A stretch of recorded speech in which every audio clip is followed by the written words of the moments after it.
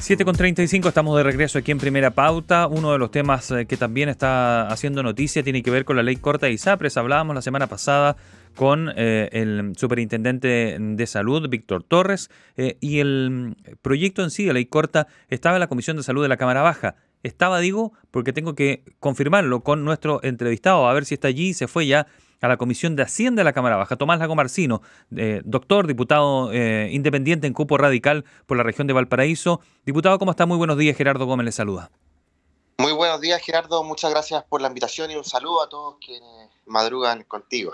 gracias, diputado. Oiga, em, para quienes nos escuchan allí en Viña del Mar, Valparaíso 96.7 FM, pero también en todo el país, eh, ¿quedó listo? ¿Hoy día recién terminan para mandarlo a Comisión de Hacienda al proyecto Ley Corta? Bueno, primero que todo hay que decir que el Senado se tomó 8 a 9 meses eh, para discutir el proyecto de ley corta de ISAPRE y nosotros llevamos exactamente un mes y una semana. Y eh, ayer estaba citado hasta todo el despacho, sin embargo, eh, suspendimos la sesión a las nueve y media, 10 de la noche, para continuar hoy día con una sesión nuevamente en la mañana y nuevamente en la tarde, que eventualmente es, hasta todo el despacho. Sí o sí tiene que estar despachado de la Comisión de Salud esta semana para el lunes empezar a ser discutido en la Comisión de Hacienda, como tú bien planteaste. Así que tenemos todo el día de hoy y si no, de mañana. Eh, ¿Qué es lo que eh, está eh, demorando? Em, primero, partamos por lo más básico. ¿Qué es lo que está demorando? ¿Qué es lo que falta votar para que se vaya a Comisión de Hacienda? Y ahí voy a preguntarle sobre el contenido mismo, sobre el, camino que está tomando este proyecto. Bueno, primero que todo, yo diría que en la Comisión de Salud de la Cámara nos abocamos a la discusión de la modalidad de cobertura complementaria, que es aquella que eh, trae nuevos beneficios para el 80% de la población que está en el Fondo Nacional de Salud, en el FONASA. Nos abocamos mucho más a discutirla que como sucedió en el Senado. El Senado, este tema fue un mero trámite y se concentraron en, el aspecto para ISAPRE. Eh, en la Cámara nos centramos durante una semana exclusivamente en este tema y esta segunda semana nos hemos concentrado en los aspectos más referentes a, a los propios de la ISAPRE. Eh, hemos avanzado significativamente en el, proyecto eh, de ley. De hecho, ya quedan francamente algunos de los últimos artículos por ser discutido y votado y lo que viene probablemente es menos controversial. El artículo segundo y tercero, donde está todo lo controversial que quedaron prácticamente despachados el día de hoy, de perdón, de ayer.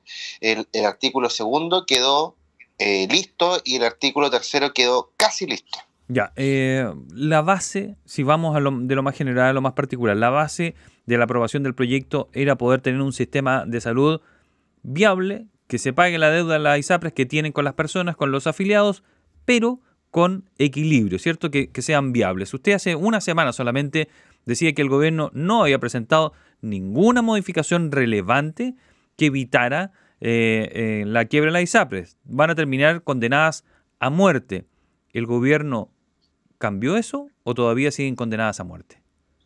Bueno, a decir verdad, el Ejecutivo ha ingresado algunas indicaciones que viabilizan el sistema de salud privado, eh, obviamente no en un 100%, pero queda mucho más despejado. De hecho, yo siempre digo, trato de simplificar esto en dos grandes caminos, porque la gran discusión aquí es que tenemos que, la Corte Suprema dijo que tenemos que aplicar una tabla única de factores de riesgo y la ISAPRES tiene en torno a 900 tablas de riesgo diferentes que discriminan entre hombres y mujeres, que discriminan por edad. La tabla única de factores de riesgo disminuye, la, o sea, elimina, mejor dicho, la discriminación contra las mujeres, haciendo que los planes de las mujeres bajen en, en, promedio tres veces, pero los planes de los hombres en promedio no suben tres veces y a la vez disminuye significativamente la discriminación entre personas más mayores y más jóvenes. Esas diferencias las disminuye bastante. Y eso genera que en los ingresos permanentes de, de la ISAPRES, que es lo que pagan sus afiliados, no alcance para pagar las obligaciones, prestaciones, licencias médicas y otros beneficios de sus mismos afiliados. Llegar a ese equilibrio le hemos llamado justamente rebalancear, reequilibrar, eh, darle continuidad a las coberturas de los afiliados. Y eso es un aspecto que no tiene que ver con la deuda porque es hacia el futuro. Es decir, que todos sabemos que en nuestro hogar, eh, toda empresa, el mismo Estado, siempre lo dicen los ministros de Hacienda, los ministros de Hacienda, gastos permanentes implican ingresos, permanentes. Y ese reequilibrio hay que alcanzarlo y a mí me parece una cuestión del todo justa, independiente de que a nadie le gusta eh, aquello. Eh, y la deuda, que es la aplicación de la tabla única de factores de riesgo hacia atrás, es decir, desde cuando la Corte Suprema dice que se debió haber aplicado y el momento en que finalmente implementemos el fallo, eso constituye la deuda. Entonces, esa deuda eh, está contenida su forma de resolución en el artículo eh, tercero, en la segunda parte del artículo tercero, y la parte con respecto a la aplicación hacia el futuro de la tabla única de factores de riesgo está en el artículo segundo y en la primera parte del artículo tercero. Entonces, eh, yo por eso te digo que dejamos aprobado todo el artículo segundo y parcialmente el artículo tercero, porque el rebalanceo mm. quedó aprobado y en buena hora, porque significa darle viabilidad a la ISAPRES sin considerar la deuda y ahora entramos a la deuda hoy día. Ah, ya. Es que ahí, ahí probablemente que sea el, meollo del asunto, la deuda, eh, que em, hablaba con el superintendente Víctor Torres la semana pasada, decía, la mutualización ya no es una salida real, es decir, no es una alternativa bajo ningún punto de vista, pese a que eh, varios expertos, incluso Eduardo Engel, eh, economista destacadísimo en nuestro país, que no digamos que es un economista de derecha, dice que debería considerarse, pero al parecer ya eso está descartado por el gobierno y la superintendencia espera que así sea, porque dice que hacerlo, es decir, mutualizar, es incumplir. Eh, eso es lo primero. Eh, quiero conocer su opinión con respecto a la mutualización. Y lo otro es que se plantea eh, que mm, se haga, em, se cambie el, la base del plan donde se calculó, el, que se haga mixto y que no sea en base a un plan de hombres, que un estudio que hizo la Universidad de Chile, algo que el superintendente Torres también lo descartó. Dijo que esto lo había encargado una ISAPRE a un grupo destacado de economistas y por lo tanto no, no mostró confianza en esa, en esa fórmula. ¿Cuál fórmula van a hacer para que esto cuadre?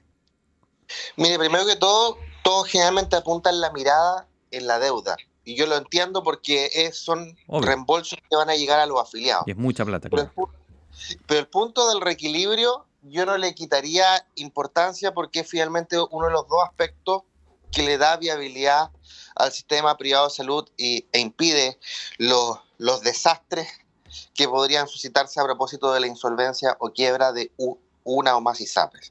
Entonces, la mitad del problema hemos logrado una fórmula y ayer se terminó de aprobar para resolver la mitad del problema que es el equilibrio financiero.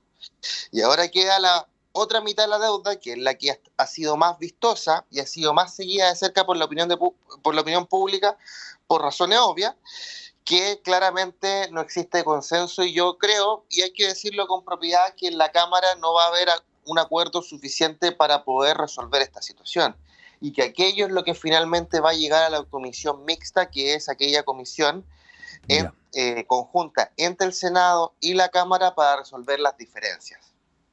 Eh, usted escucha al eh, diputado del Partido Radical Independiente con cupo radical Tomás Lago Marcino conversando sobre eh, lo que está pasando con la ley corta de ISAPRES, que en las próximas horas podría irse a la Comisión de Hacienda, pero va a terminar en Comisión Mixta, decía, porque algunas cosas no van a ser resueltas. En pauta también decía el ex ministro de Salud, Emilio Santelices, que a la luz de lo visto, lo que se quiere hacer aquí es la debacle del sistema, porque él no lo ve viable por ningún lado. ¿Usted coincide con eso? Yo creo que estamos, tenemos tiempo todavía. El fallo de la Corte Suprema mm. puede ser implementado hasta el 30 de mayo, dado que no se ha pedido una tercera prórroga. Y en ese contexto estamos resolviendo elementos en la Cámara de tal forma de que el meollo del asunto mm. sea la deuda, que va a ser un tema que va a ser resuelto en comisión mixta, porque recordemos que el proyecto de ley tiene dos grandes áreas una que es la modalidad de cobertura complementaria FONASA, otra que es la de ISAPRE. Y dentro de la ISAPRE tenemos tres áreas.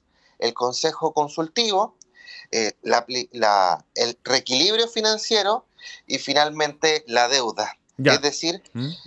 vamos a mandar un proyecto de ley corta, que como tú verás no es tan corto, que, eh, en, su, en su gran porcentaje resuelto y solamente uno de ellos que es el tema de la deuda probablemente pendiente mm. eh, a mí. Ya, eh, la deuda, usted a, todo esto, ya que lo menciona, pero para, para, que salgamos de ese paso, ¿usted ve que hay alguna fórmula para cambiarla, variarla a los mil millones y que baje un poco?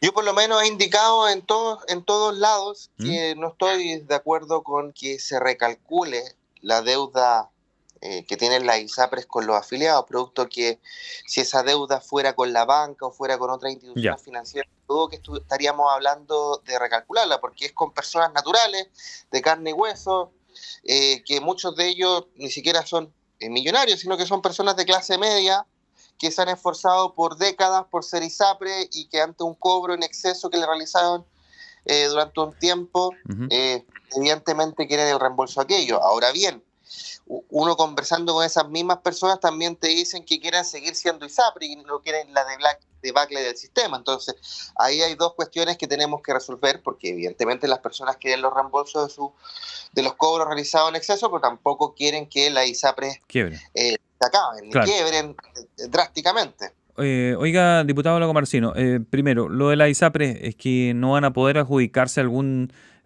tipo de concurso posterior para participar en estos seguros complementarios ¿Usted lo apoya? Porque una cosa es que no, nos siguen como ISAPRE, pero tampoco algunos parlamentarios quieren que ni siquiera eh, puedan postularse a participar esas empresas dueños de ISAPRES a eh, formar parte de ese seguro complementario que, podría existir con FONASA. ¿Usted está de acuerdo con eso? Podríamos explicarlo muy brevemente porque yo creo que nuestros radioescuchas van a quedar un poco colgados con la pregunta, porque es bien compleja en sí misma.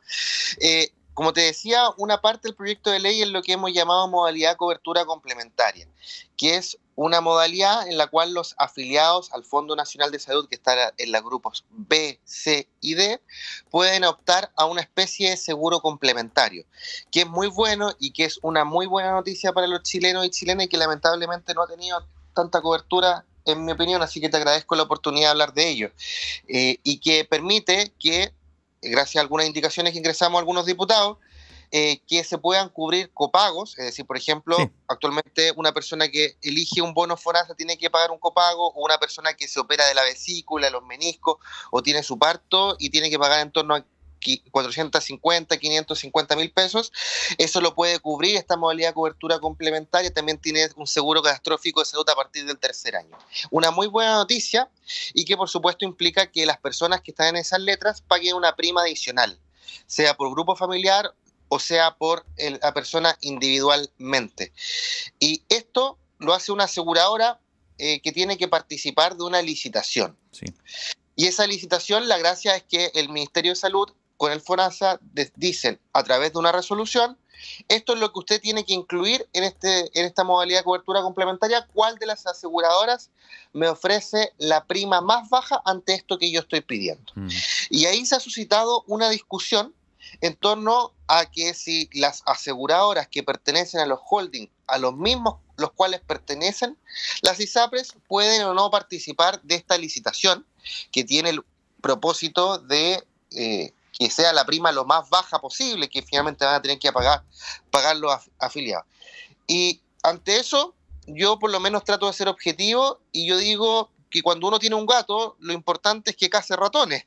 Ya, no tiene problema que las ISAPRES participen o se postulen a ser uno de esos eh, oferentes de ese, de ese seguro. O sea, que gane el que ofrece la prima más baja para que los afiliados tengan que pagar lo menos posible. Pero no discriminarlos a priori por ser ISAPRES o por haber sido para algunos la causa del problema. O sea, primero que todo, ah, tenemos seis ISAPRES. Ya, pero es que ahí sería como ideologizado el querer sacarlas, ¿o no? ¿No, no considera eso? El querer sacarlas a priori, me refiero.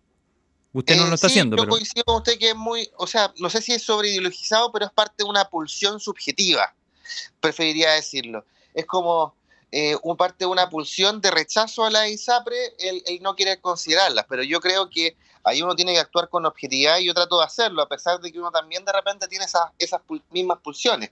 Y uno dice, aquí yo quiero que quien gane sea la, la aseguradora que tenga la prima más baja, para que los afiliados de FONASA, si es que quieren elegir voluntariamente esta modalidad de cobertura complementaria, lo pueden hacer con esa prima. oiga, Perdón que lo interrumpa, es simplemente porque el tiempo no, ya se nos está acabando. Eh, esta modalidad de cobertura complementaria, leí algunas columnas de algunos expertos y decían, eh, para que realmente cubra, debería ser 55 mil pesos y no 30 mil como se está planteando. Es decir, el cálculo allí inicial no fue bueno. Y lo otro es que otros afirman que no se parece un FONASA más un complementario a un plan de ISAPRE. El plan de ISAPRE uno se atiende para distintas cosas y el otro es para determinadas cosas. Entonces no va a aparecer. Mire, mire eh, a priori es muy difícil poner un valor porque todavía no se ha dicho qué va a incluir eh, esta modalidad de cobertura complementaria, porque eso queda sujeto a una resolución que tiene que dictar el Ministerio de Salud previo a la licitación.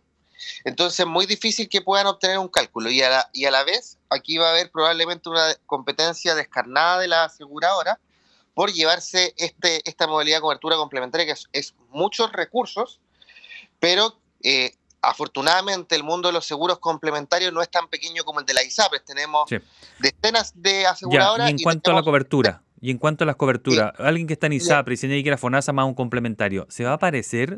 Porque los expertos dicen que no se va a aparecer. Yo estaba de acuerdo con esa crítica en, cómo fue despachado desde el Senado. Pero afortunadamente con una de las indicaciones que yo ingresé y que afortunadamente finalmente terminó de patrocinar el Ejecutivo, mm. eh, se, se, direccionó de forma mucho mejor eh, la modalidad de cobertura complementaria. ¿Va a ser exactamente como la cotización adicional de la ISAPRES? No, no es exactamente igual pero es un gran beneficio para los chilenos y chilenas, dado que le damos una cobertura complementaria que no tenían hoy día a dichas personas. Diputado Lago Marcino, frase para terminar, ¿usted ve hoy por hoy más viable que puedan seguir existiendo las ISAPRES? Yo veo con esperanza la discusión en lo que viene. Yo sé que hay algunas cuestiones que van a resolverse en comisión mixta, pero estamos resolviendo una parte importante de ellas en la Cámara, esperando que se ratifique en el Senado y que solamente los puntos más críticos se discutan en la comisión mixta. Y en ese sentido soy un esperanzado siempre de los acuerdos y la discusión que podamos llevar, porque siempre con más diálogo se logran mejores cosas. Diputado Lago Marcinos, le agradecemos esta conversación con Primera Pauta. Muy buen día. Gracias a ustedes por la invitación.